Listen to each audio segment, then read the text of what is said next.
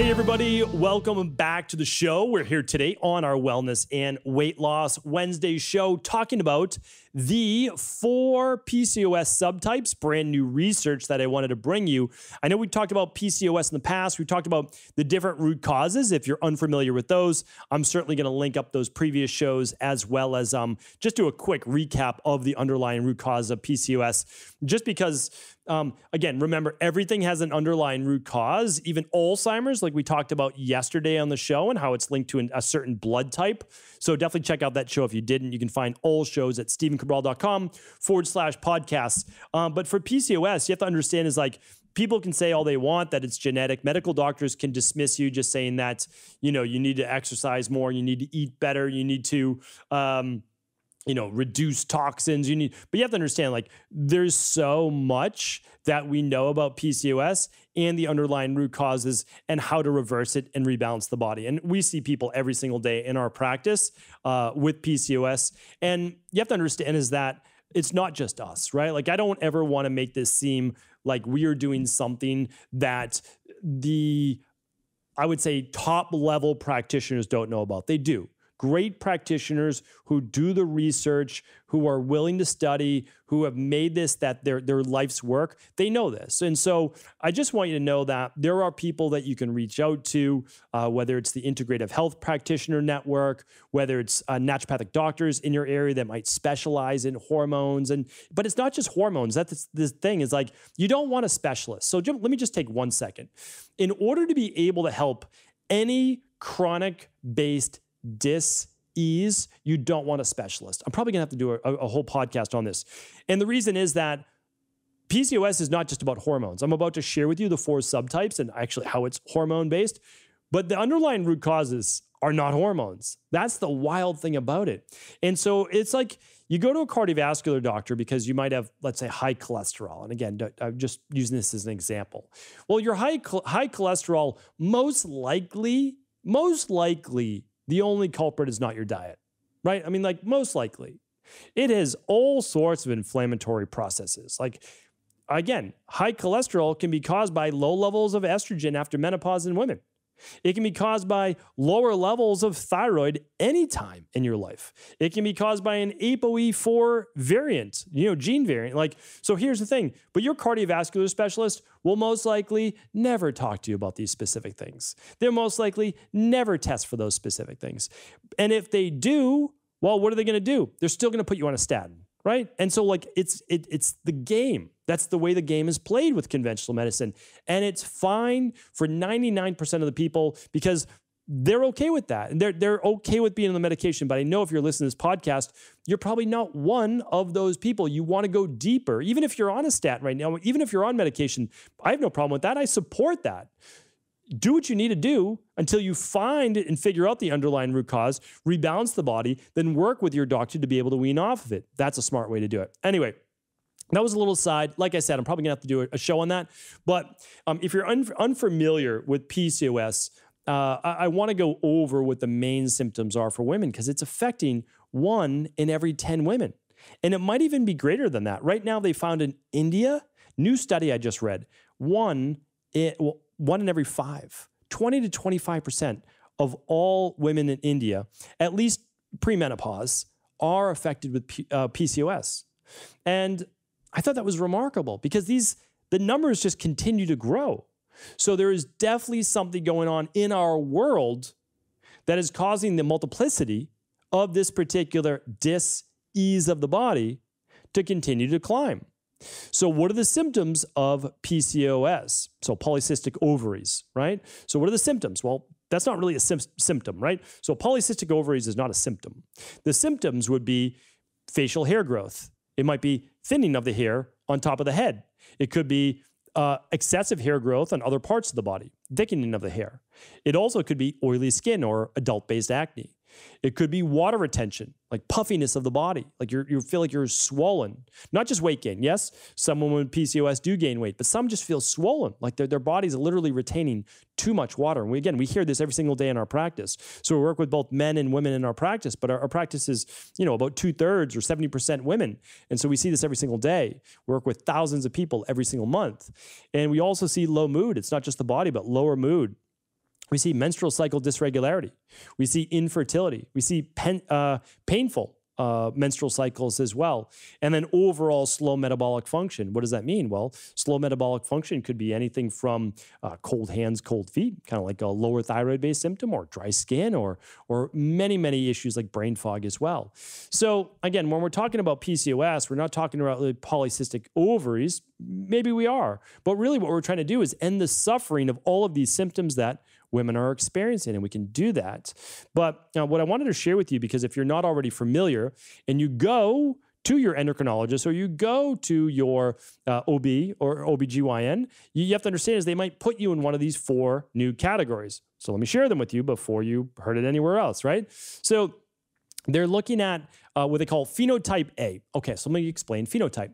So there's basically a genotype, which is you and your genetics. Okay, so let's say you're you're born and you are um, perfectly healthy and you have totally normal cholesterol, and then all of a sudden you're 32 years old and you go to your doctors and your doctor's like, hey, your cholesterol's 310, your total cholesterol. You have really high cholesterol. And you're like, why do I have high cholesterol? I eat well, I do this, I do that. Your doc- and your doctor's like, well, it's probably just genetic, right? So that's your geno that's your genotype, right? Your genetics, you're more prone to high cholesterol. It doesn't mean you have to high have high cholesterol because you didn't have it before the age of 32. Why'd you have it at 32, right? So you didn't have to have it. It's in your genes, but those genes didn't express themselves until something happened in your life and we call that the phenotype. So your phenotype is what you become with these genes of yours, right? How you express your genes. It's epigenetics and it becomes you as your phenotype. So in Ayurveda, they have the Vikriti and they have the Prakriti. You know, one is your actual, right? The Prakriti is your actual genotype. And then you have your Vikriti, which is essentially how, what we become. So we want to understand that uh, we are, our genes are not our destiny. Uh, but in terms of PCOS, there are four different ways to look at what we become, right? So phenotype A is hype, hyper androgenism. That just simply means higher levels of what are typically considered male uh, dominant hormones. So more of the androgens, like higher levels of testosterone and or DHEA, even androstenedione or androstenedione. Um, would be considered that as well. Androstenediol too. So these are just kind of precursors to testosterone uh, as well.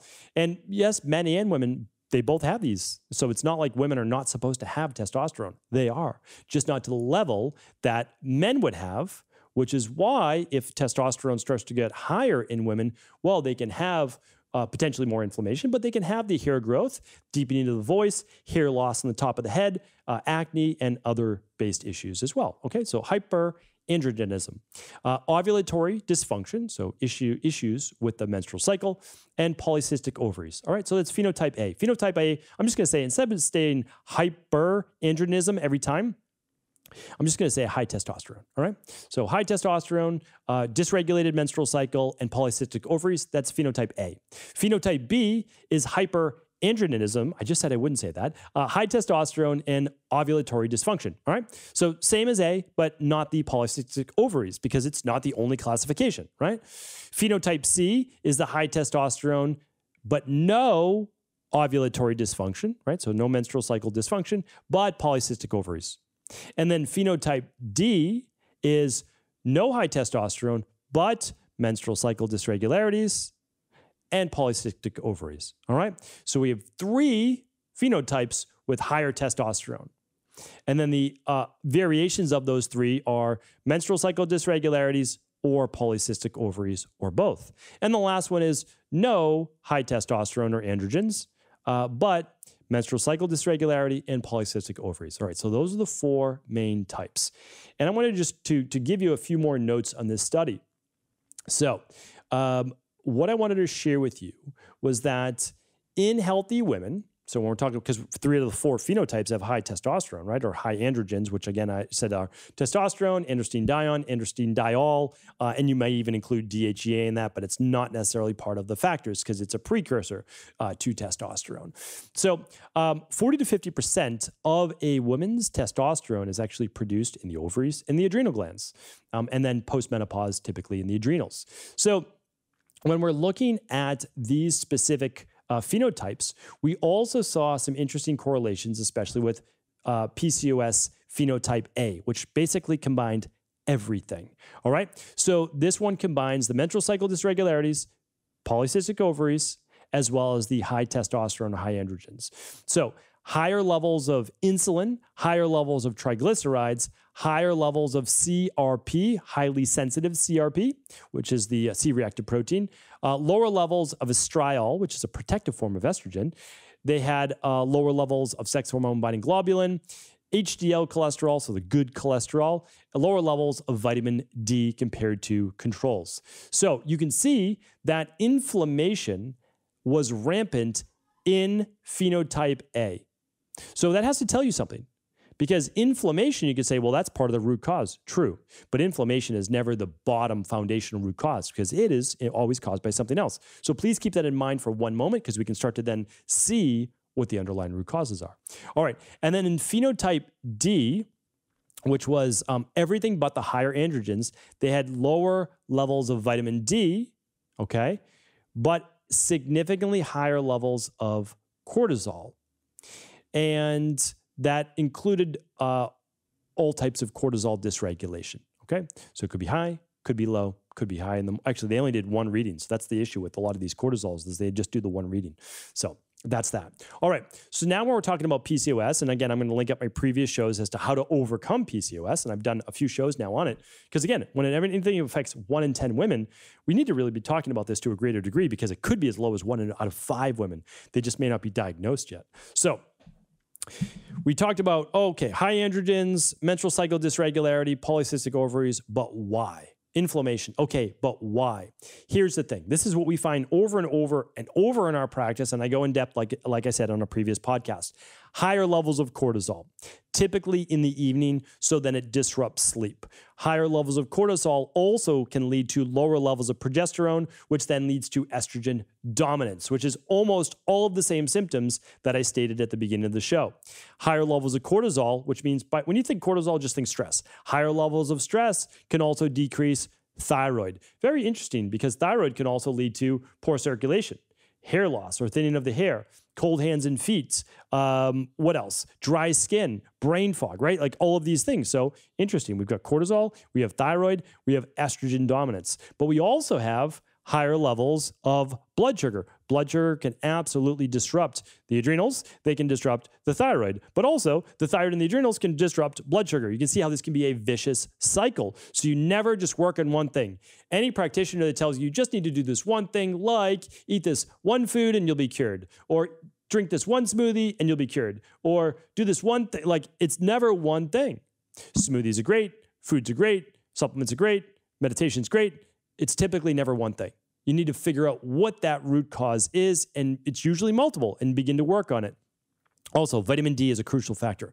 Almost no one is talking about vitamin D. I'm so happy that at least this study started to share with people that vitamin D is a factor. Low vitamin D is a factor in PCOS, estrogen dominance, low thyroid, and many more, even cholesterol metabolism. Here's the thing though there's a lot of there, there's i know people do not mean any harm and i so i appreciate this and, and i'm very sensitive to the topic. But there's a lot of people telling you that you should not be using vitamin d3 as a supplement. I would be careful with that advice because unless you are getting adequate sun exposure you are most likely low in vitamin d and if you're low in vitamin D, you leave yourself greatly susceptible to all sorts of diseases in the body. Vitamin D is crucial for our immune system and well over 300 other processes in the body. So, again, just give caution. And the last one that I want to share with you is, uh, well, two more, I guess. Overall toxicity. So, plastics, uh, heavy metals, pesticides, all of these things can affect inflammation and toxicity. And the last one is your gut health. Um, I did a podcast previous to this on the link between PCOS and gut health. I'm going to link up that as well, uh, but so crucial because oftentimes you can't figure it out. You can't fix things because the inflammation will not go away and it won't go away until you fix that intestinal permeability, candida overgrowth, SIBO, parasites, H. pylori, whatever it might be. So, you know, the bottom line is this uh, work with a practitioner because this is complicated, right? But work with a practitioner that's able to help you just work the process. Ideally, that practitioner is going to run the big five labs with you, Or at the very, very least, they're going to run the starter kit plus the stress, mood, and metabolism test at the very least. Uh, and if you can only do one lab, then I would do the stress, mood, and metabolism. You can find all of these labs at stephencabral.com forward slash labs. You don't need to run them with us in our practice. You can if you want to, but you don't need to. You can work with your local functional medicine doctor, local naturopathic doctor, or um, IHP2, integrative health practitioner 2. Your choice. But you have to understand is that it's a puzzle. Every woman's slightly different with their underlying root causes. You find the underlying root causes. You take about three to four months to begin to rebalance those. Then you begin to recreate equilibrium and homeostasis with the body. Once you do that, you have to remember that dis-ease cannot live in the body at that point. A healthy body cannot be sick. A healthy body cannot be unbalanced. So, hopefully, this was helpful. I'm always happy to do additional follow up shows. These are by your uh, popular demand. You write in, you let me know the topics you want me to speak about, and that's what I do. Thanks so much, everyone. I appreciate you for all of the show notes and links. Head on over to stephencabral.com forward slash 2343.